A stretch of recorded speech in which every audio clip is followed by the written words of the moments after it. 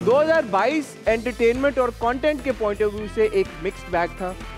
ज़्यादातर ड्रामे और उनमें किरदार हमने ऐसे देखे जो हम पिछले कई सालों से देखते आ रहे हैं। लेकिन इस बीच में, साल के शुरू में हमने देखा जो बिछड़ गए जो कि एक ठंडी हवा के झोंके की तरह हमारी स्क्रीन पे आया और ज़बरदस्त कंटेंट के साथ साथ ज़बरदस्त परफॉर्मेंसेज की सूरत में हम सबको इम्प्रेस करके छोड़ गया।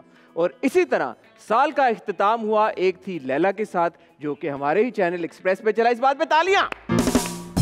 एक थी लैला में हमने देखा इकरा अज़ीज़ को, यासिर हुसैन को, यासिर हुसैन ने डायरेक्ट किया ज़बरदस्त मिनी सीरीज़ एक ट्रेंड सेटर बन के सामने आई और हम उम्मीद करते हैं कि 2023 में ऐसे ही सीरीज़ ऐसे ही छोटे छोटे ड्रामे ऐसे ही छोटी छोटी एपिसोड्स हमें टीवी पे देखने को मिलेंगी। और ये जो आजकल एक नया सिलसिला शुरू हो गया है, पचास साठ एपिसोड्स का, उससे हमारी जान थोड़ी सी छुटेगी फ़िल्मों के हवाले से ऐसे कैसे हो सकता है कि हम द लेजेंड ऑफ़ मौलाजट का नाम ना लें? एक super duper blockbuster Punjabi cinema को ना सिर्फ़ पाकिस्तान में बल्कि इंटरनेशनल लेवल के ऊपर एक नई जान जिसने अगर कहा जाए कि फूंक दी तो ये गलत नहीं होगा।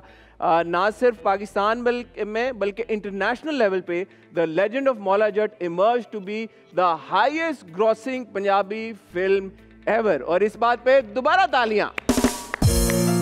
तो उम्मीद करते हैं कि 2023 में हमें मज़ीद बेहतर से बेहतर और अच्छी से अच्छी फ़िल्में देखने को मिलें, मज़ीद अच्छी और बेहतर से बेहतर टेलीविज़न ड्रामे देखने को मिलें और इसके साथ साथ ऐसा कैसे हो सकता है कि हम अपने इस द टॉक टॉक शो के लिए दुआ ना करें। तो आए, मेरे साथ मिलकर सब हाथ उठाएँ। मेरी टीम वालों, आपसे भी रिक्वेस्ट है, हाथ उठाओ सारे।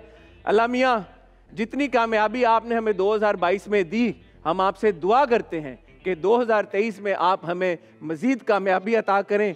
आप हमें ऐसे वो सारे गेस्ट अता करें जो कि आके हमारे शो को चार चाँद लगाएँ और आके थोड़ी थोड़ी कंट्रोवर्सीज भी क्रिएट करते जाएँ। सॉरी अल्लाह मैं कंट्रोवर्सीज मांग रहा हूँ, लेकिन क्या है कि हमारे टीवी चैनल के ऊपर रेटिंग ही तब आती है जब तक थोड़ी थोड़ी कंट्रोवर्सीज ना हो। तो कंट्रोवर्सीज की सूरत में कुछ स्पाइस हमारे यहाँ भेजें और अल्लाह मियाँ, हमारा show talk of the town तो ऑलरेडी है ही, लेकिन ए प्यारे रब हमारे शो को 2023 में टॉक ऑफ़ द वर्ल्ड बना दे। आमीन। इसी मौके पे आपको इंट्रोड्यूस कराते हैं हमारी आज की गेस्ट के साथ।